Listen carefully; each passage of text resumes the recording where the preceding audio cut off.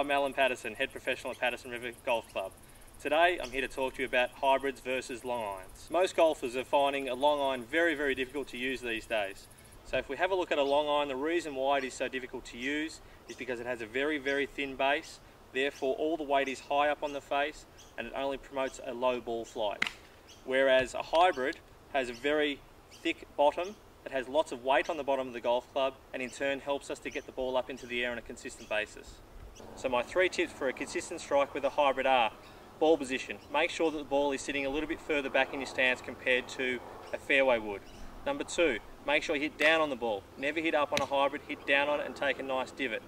And tip three is to make sure your club is always professionally fitted by a golf professional from Performance Golf. So let me now demonstrate how a hybrid club should be hit. So as you can see, I had the, ball set up into the middle of my stance. I hit down on the ball and the ball went up very nicely.